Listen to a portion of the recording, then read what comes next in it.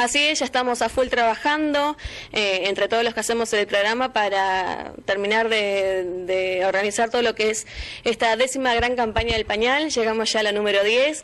Eh, creemos que no es poca cosa eh, sostener una campaña de esta magnitud durante tantos años y con todo lo que se recolecta también, ¿no? bueno, como siempre, todo lo que se recauda será para los abuelos del Hospital San Francisco de Asís. Bueno, para tener una estadística y aquellos que por ahí eh, desconocen de la campaña, que seguramente que no, porque casi todos están al tanto, pero eh, recordar un poco que siempre es tan exitosa y logran juntar un montón. El año pasado fue como. Sí, eh, gracias a Dios siempre se van, se van superando los montos em, de años anteriores y yo creo que por eso la gente también confía y todos los años vuelve a colaborar porque por ahí ven los resultados. Así que em, sí, estamos hablando de que bueno, el año pasado se han juntado 87 mil pesos más o menos para redondearte el número, este, y unas 3.000, 3.200 unidades de pañales.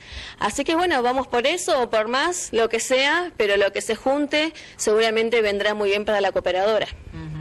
Eh, ¿Cómo se organizan con el programa? ¿El punto de partida cambia? ¿La ubicación es otra?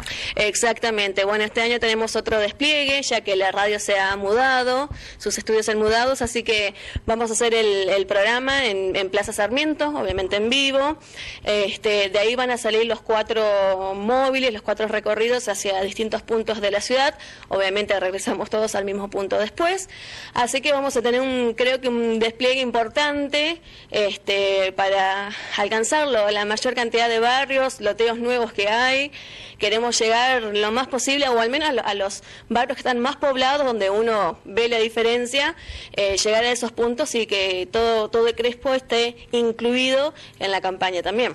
Sin dudas, van a estar esperando. Sabemos que hay gente que ya les está acercando donaciones. Sí, sí, sí, siempre, siempre. Eh, unos días antes y días posteriores a la campaña, los pañales se siguen recolectando porque, bueno, por ahí hay gente que sabe que el domingo no va a estar o, por algún que otro motivo no van a poder colaborar, así que ya se están acercando, por suerte, ya hay pañales en, eh, recolectados.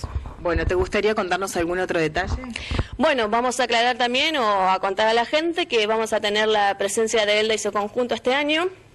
Elda, Elda y toda su familia, bueno, aparte de ser muy amigos ya de nuestra familia, de años, eh, fueron los que le hicieron la canción a Manija también, la cual nosotros la tenemos siempre de cortina en la, en la campaña también. Así que, bueno, muy agradecidos a ellos que van a estar. Y va a haber una pequeña sorpresita que se la vamos a brindar más que nada a los, a los que van a estar caminando con nosotros. Eh, antes de empezar va a haber una pequeña sorpresita ahí en la plaza. Algo distinto como para festejar los 10 años de la campaña. Perfecto. ¿Identificación tal vez? Eh, no, no, frío, frío. Bueno. Algo más para como para entrar en calor, digamos, ¿eh? Así que no, no, no, no, no, no. Eh, no voy a dar muchas pistas porque bueno, queremos que sea algo mm, sorprendente quizás para que se enganche la gente y este, bueno, que pasen un, domingo, ya que nos vienen a ayudar y a colaborar con nosotros, eh, también brindarles nosotros algo a ellos que, que bueno, dejan de, de estar con su familia o de descansar simplemente el domingo por hacer esta campaña también.